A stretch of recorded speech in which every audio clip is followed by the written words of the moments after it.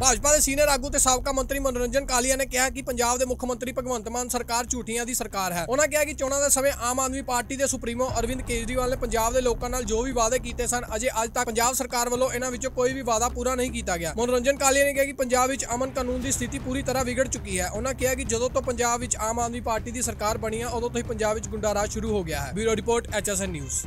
ਹਾਂਜੀ, ਸਰ, ਸੱਤਾ ਦੇ ਵਿੱਚ ਆਮ ਆਦਮੀ ਪਾਰਟੀ ਦੀ ਸਰਕਾਰ ਆਈ ਹੈ। ਬੜੇ ਐਲਾਨ ਕੀਤੇ ਸੀ, ਵਾਅਦੇ ਕੀਤੇ, ਗਰੰਟੀਆਂ ਦਿੱਤੀਆਂ ਸੀ। ਉਹਨਾਂ ਵਿੱਚੋਂ ਇੱਕ ਗਰੰਟੀ ਪੂਰੀ ਕੀਤੀ ਗਈ ਹੈ ਕਿ 300 ਯੂਨਿਟ ਬਿਜਲੀ ਜਿਹੜੀ ਆ ਪਰਿਵਾਰਾਂ ਨੂੰ ਫ੍ਰੀ ਦਿੱਤੀ ਜਾਏਗੀ ਪੰਜਾਬ ਦੇ ਲੋਕਾਂ ਨੂੰ ਜਿਹ 'ਚ ਐਸਸੀ ਬੀਸੀ ਨੂੰ।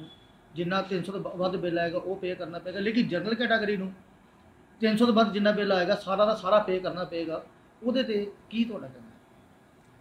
ਦੇਖੋ, ਇਸ ਤਰ੍ਹਾਂ ਕਿ ਜਿਹੜੇ ਵਾਅਦੇ ਇਲੈਕਸ਼ਨ ਤੋਂ ਪਹਿਲਾਂ ਕੀਤੇ ਗਏ, ਜਿਹੜੀਆਂ ਗਰੰਟੀਆਂ ਦਿੱਤੀਆਂ ਗਈਆਂ, ਜੇ ਉਸ ਮੁਤਾਬ- ਮੁਤਾਬਿਕ ਦੇਖੀਏ ਤੇ ਕੋਈ ਵੀ ਜਿਹੜੀ ਹੈ ਨਾ, ਵਾਅਦਾ ਉਹਨਾਂ ਨੇ ਪੂਰਾ ਨਹੀਂ ਕੀਤਾ।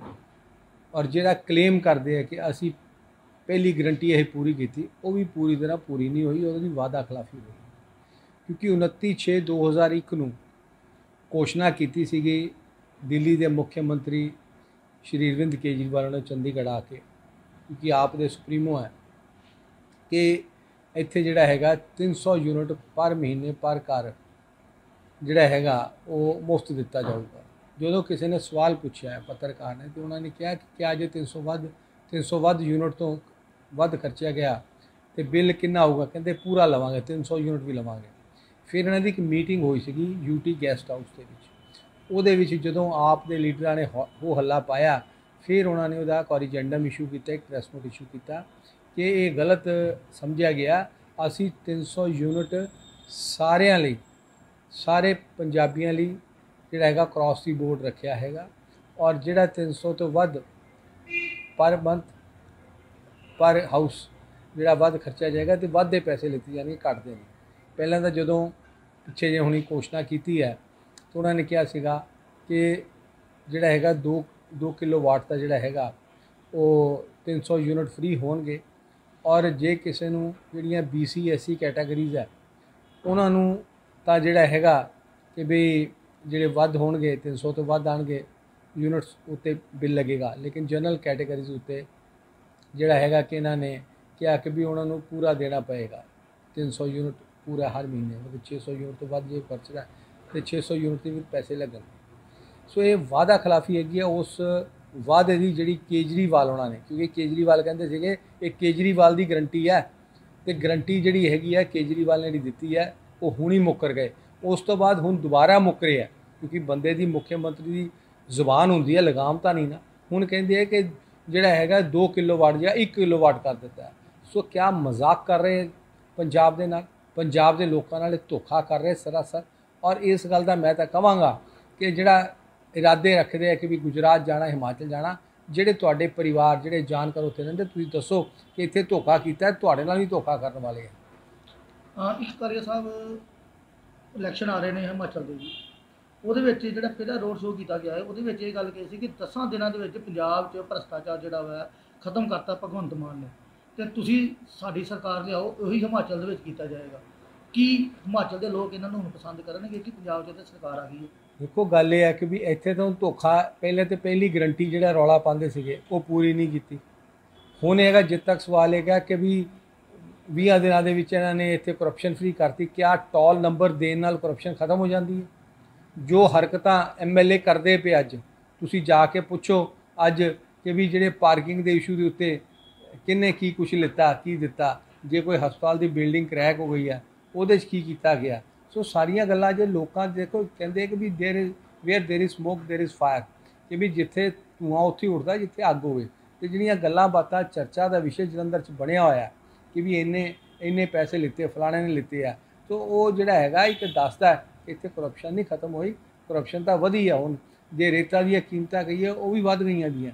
ਤੇ ਹੁਣ ਸਵਾਲ ਇਹ ਹੈਗਾ ਕਿ ਇਹ ਸਿਰਫ ਧੋਖਾ ਕੀਤਾ ਪੰਜਾਬ ਦੀ ਜਨਤਾ ਨਾਲ ਮੈਂ ਤਾਂ ਕਹਾਂਗਾ ਹਿਮਾਚਲ ਦੀ ਜਨਤਾ ਵੀ ਇਸ ਤੋਂ ਧੋਖੇ ਤੋਂ ਬਚੇ ਗੁਜਰਾਤ ਦੀ ਜਨਤਾ ਵੀ ਧੋਖੇ ਤੋਂ ਬਚੇ। ਸੀਐਮ ਭਗਵੰਤ ਮਾਨ ਦਾ ਕਹਿਣਾ ਹੈ ਕਿ ਜਿਹੜੀਆਂ ਪਿਛਲੀਆਂ ਸਰਕਾਰਾਂ ਆਈਆਂ ਉਹਨਾਂ ਨੇ ਪੰਜਾਬ ਦੇ ਉੱਪਰ ਬਹੁਤ ਸਾਰਾ ਜਿਹੜਾ ਖਰਚਾ ਚਾੜ ਦਿੱਤਾ। ਉਸ ਕਰਜ਼ੇ ਦੀ ਵੀ ਜਾਂਚ ਕੀਤੀ ਜਾਵੇਗੀ ਕਿ ਉਹ ਪੈਸੇ ਕਿੱਥੇ ਕਿੱਥੇ ਲੱਗੇ ਉਹ ਤਾਂ ਉਹ ਤਾਂ ਆਫੀਸ਼ੀਅਲ ਰਿਕਾਰਡ ਹੈਗਾ ਜਿੱਥੇ ਜਿੱਥੇ ਲੱਗੇ ਹੈਗਾ। ਸਰਕਾਰਾਂ ਜਿਹੜੀਆਂ ਹੈਗੀਆਂ ਕਰਜ਼ਾ ਲੈਂਦੀਆਂ ਕਿ ਵੀ ਕਿਆ ਦਿੱਲੀ ਦੀ ਸਰਕਾਰ ਨੇ ਕੋਈ ਕਰਜ਼ਾ ਨਹੀਂ ਲਿੱਤਾ ਹਾਲੇ ਤੱਕ।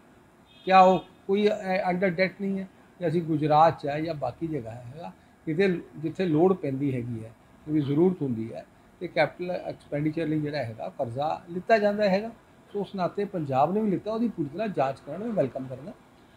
ਕਿ ਇੱਕ ਇਹਨਾਂ ਨੇ ਗਾਰੰਟੀ ਦਿੱਤੀ ਕਿ 1000 ਰੁਪਇਆ ਪਰ ਔਰਤ ਦੇ ਅਕਾਊਂਟ ਦੇ ਵਿੱਚ ਆਏਗਾ, ਜਿਹੜਾ ਉਹਨਾਂ ਨੇ ਕਿਹਾ ਕਿ ਅਸੀਂ 1 ਅਪ੍ਰੈਲ ਤੋਂ ਆਏਗਾ।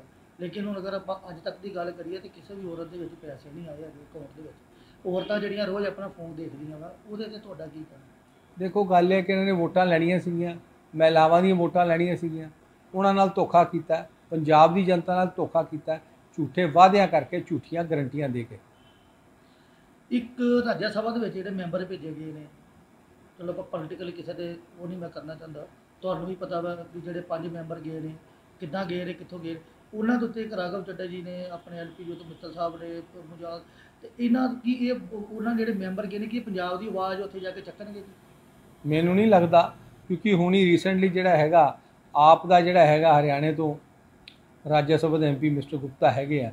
ਉਹਨਾਂ ਨੇ ਕਿਹਾ ਹੈਗਾ ਕਿ ਵੀ ਜਿਹੜੀ ਐਸਵਾਈਐਲ ਦੇ ਉੱਤੇ ਮੁੱਦੇ ਦੇ ਉੱਤੇ ਬਿਆਨ ਦਿੱਤਾ ਹੈ, ਤੇ ਉਹ ਪੰਜਾਬ ਦੇ ਵਿੱਚ ਅੱਗ ਲਗਾ ਰਹੇ ਆ। ਤਾਂ ਉਸ ਨਾਤੇ ਮੈਂ ਚਾਹੂੰਗਾ ਰਾਘਵ ਚੱਡਾ ਉਹਨਾਂ ਨੂੰ ਕਿ ਆਪਣਾ ਸਟੈਂਡ ਕਲੀਅਰ ਕਰਨ ਗੱਲ ਦੱਸਣ ਕਿ ਵੀ ਤੁਸੀਂ ਹੁਣ ਪੰਜਾਬ ਨਾਲ ਖੜੇ ਹੋ ਕਿ ਹਰਿਆਣਾ ਨਾਲ ਖੜੇ ਹੋ। ਕਿਉਂਕਿ ਐਮਪੀ ਦਾ ਤੁਸੀਂ ਪੰਜਾਬ ਦੇ ਹੋ ਰਿਪਰੈਜ਼ੈਂਟ ਤੁਸੀਂ ਪੰਜਾਬ ਕਰਦੇ ਹੋ ਤੇ ਅੱਜ ਚੁੱਪੀ ਜਿਹੜੀ ਹੈਗੀ ਆ, ਉਹ ਬਹੁਤ ਕੁਝ ਕਹਿੰਦੀ ਤੁਹਾਡੀ। ਸਰ ਐਸਵਾਈਐਲ ਦੇ ਮੁੱਦੇ ਦੀ ਗੱਲ ਕਰੀਏ ਤੇ ਅਰਵਿੰਦ ਕੇਜਰੀਵਾਲ ਦਿੱਲੀ ਦੇ ਮੁੱਖ ਮੰਤਰੀ ਹੈਗੇ ਨੇ, ਪੰਜਾਬ ਦੇ ਵਿੱਚ ਵੀ ਹੁਣ ਆਮ ਆਦਮੀ ਪਾਰਟੀ ਦੀ ਸਰਕਾਰ ਹੈਗੀ ਆ। ਤੇ ਕਿਤੇ ਨਾ ਕਿਤੇ ਐਸਵਾਈਐਲ ਦਾ ਮੁੱਦਾ ਜਿਹੜਾ ਵਾ, ਦਿੱਲੀ ਦੇ ਨਾਲ ਵੀ ਜੁੜਿਆ ਹੋਇਆ ਵਾ, ਸਤ- ਸਤਲੁਜ ਜਮਨਾ ਲਿੰਕ ਲੈਣ ਦੇ ਨਾਲ। ਕੀ ਹੁਣ ਅਰਵਿੰਦ ਕੇਜਰੀਵਾਲ ਨੂੰ ਇਹਦੇ ਉੱਤੇ ਜਿਹੜਾ ਵਾ ਆਪਣਾ ਬਿਆਨ ਦੇਣਾ ਚਾਹੀਦਾ? ਕੋਈ ਹਾਲ ਤੱਕ ਕੋਈ ਬਿਆਨ ਨਹੀਂ ਆਇਆ ਉਹਨਾਂ ਦਾ। ਮੈਂ ਕਿਹਾ ਜੀ ਬਿਲਕੁਲ ਦੇਣਾ ਚਾਹੀਦਾ ਕਿਉਂਕਿ ਗੱਲ ਇਹ ਹੈ ਕਿ ਉਹਨਾਂ ਦਾ ਸਟੈਂਡ ਜਿਹੜਾ ਆਮ ਆਦਮੀ ਪਾਰਟੀ ਦਾ ਉਹ ਉਹ ਜਿਹੜਾ ਹੈਗਾ ਸਪਸ਼ਟ ਕਰਨਾ ਚਾਹੀਦਾ। ਕਿਉਂਕਿ ਜਿਹੜਾ ਇਹ ਆ ਜਿਹੜਾ ਐਸਵਾਈਐਲ ਦਾ ਮੁੱਦਾ ਹੈਗਾ ਇਹਦੇ ਉੱਤੇ ਹੀ ਜਿਹੜਾ ਹੈ ਨਾ ਜੀ ਅੱਗੇ ਭਖਿਆ ਸੀਗਾ ਔਰ ਤੁਸੀਂ ਇਹ ਦੇਖੋ ਕਿ ਉਹਨੇ ਫਿਰ ਆਤੰਕਵਾਦ ਨੂੰ ਜਨਮ ਦਿੱਤਾ ਸੀਗਾ। ਸੋ ਸਨਾਤੇ ਜਿਹੜਾ ਅਸੀਂ ਦੁਆ ਕਰਦੇ ਹਾਂ, ਅਮਨ ਸ਼ਾਂਤੀ ਰਵੇ। ਇਹ ਪਰ ਇਹ ਅੱਗ ਲਾਣਾ ਜਿਹੜਾ ਹੈ ਨਾ ਬਾਜ ਨਹੀਂ ਆ ਰਿਹਾ ਆਮ ਆਦਮੀ ਪਾਰਟੀ ਦੇ ਇੱਕ ਸਰ ਲਾਸਟ ਕੁਐਸਚਨ ਇਹ ਹੈ ਕਿ ਜਦੋਂ ਦੀ ਸਰਕਾਰ ਬਣੀ ਹੈ, ਸਰਕਾਰ ਬਣੀ ਨੂੰ 32 33 ਦਿਨ ਜਿਹੜੇ ਨੇ ਹੋ ਚੁੱਕੇ ਨੇ 34 ਦਿਨ। ਰੋਜ਼ ਗੈਂਗਸਟਰ ਦੀਆਂ ਘਟਨਾਵਾਂ, ਰੋਜ਼ ਬੰਦੇ ਮਰਦੇ ਨੇ, ਰੋਜ਼ ਗੋਲੀ ਗੋਲੀ ਚੱਲ ਰਹੀ ਹੈ, ਰੋਜ਼ ਲੁੱਟਾਂ ਖੋਹਾਂ ਹੋ ਰਹੀਆਂ ਵਾ। ਕੀ ਇਹ ਪੰਜਾਬ ਦੇ ਵਿੱਚ ਇੱਕ ਨਵਾਂ ਬਦਲਾਅ ਆਇਆ ਵਾ? ਗੱਲ ਇਹ ਹੈ ਕਿ ਕਾਨੂੰਨ ਵਿਵਸਥਾ ਚਰਮਰਾ ਰਹੀ ਹੈ। ਪੂਰੀ ਤਰ੍ਹਾਂ ਚਰਮਰਾ ਗਈ ਹੈ ਕਿਉਂਕਿ ਭਗਵੰਤ ਮਾਨ ਉਹਨਾਂ ਦਾ ਧਿਆਨ ਹੀ ਇੱਥੇ ਨਹੀਂ ਹੈ। ਕਿਉਂਕਿ ਜੇ ਹੋਮ ਮਿਨਿਸਟਰ ਤੌਰ ਤੇ, ਕਿਉਂਕਿ ਹੋਮ ਦਾ ਡਿਪਾਰਟਮੈਂਟ ਜਿਹੜਾ ਹੈਗਾ, ਉਹ ਮੁੱਖ ਮੰਤਰੀ ਨੇ ਆਪਣੇ ਕੋਲ ਰੱਖਿਆ। ਤੋਂ ਇਹਦਾ ਹੈਗਾ ਕਿ ਬਜਾਏ ਕਿ ਤੁਸੀਂ ਉਹਦੀ ਚਿੰਤਾ ਕਰੋ, ਤੁਸੀਂ ਤਾਂ ਭੱਜੇ ਫਿਰਦੇ ਹੋ ਜਾ ਕੇ ਕਦੀ ਗੁਜਰਾਤ ਤੇ, ਕਦੀ ਹਿਮਾਚਲ। ਸਵਾਲ ਇਹ ਹੈ ਕਿ ਤੁਸੀਂ ਇੱਥੇ ਬੈਠੋ, ਇੱਥੇ ਬੈਠ ਕੇ ਜਿਹੜਾ ਹੈਗਾ ਕਿ ਵੀ ਦੇਖੋ ਕਾਨੂੰਨ ਵਿਵਸਥਾ ਦਾ ਕਿਉਂ ਹੋ ਰਹੀ ਹੈ ਤੁਸੀਂ ਦੇਖੋ ਕਿ ਵੀ ਹਰ ਦਿਨ ਕੋਈ ਨਾ ਕੋਈ ਮਰਡਰ, ਸਪੋਰਟਸ ਵਾਲੇ ਦਾ ਮਰਡਰ ਹੋ ਰਿਹਾ, ਚੋਰੀਆਂ, ਡਕੈਤੀਆਂ, ਖੋਹਬਾਜ਼ੀਆਂ ਹੋ ਰਹੀਆਂ ਹੈਗੀਆਂ। ਇਹ ਬਹੁਤ ਕੁਝ ਕਹਿੰਦੀਆਂ ਪਹਿਲਾਂ ਨਹੀਂ ਹੋ ਰਹੀਆਂ ਸੀ, ਪਹਿਲਾਂ ਨਹੀਂ ਹੁੰਦੀਆਂ ਸੀਗੀਆਂ, ਹੁਣ ਕਿੱਦਾਂ ਹੋ ਰਹੀਆਂ ਹੈਗੀਆਂ? ਸੋ ਉਸ ਨਾਤੇ ਜਿਹੜਾ ਇਹਨਾਂ ਦੀ ਕਾਰਗੁਜ਼ਾਰੀ ਤੇ ਬਹੁਤ ਵੱਡਾ ਪ੍ਰਸ਼ਨ ਚਿੰਨ੍ਹ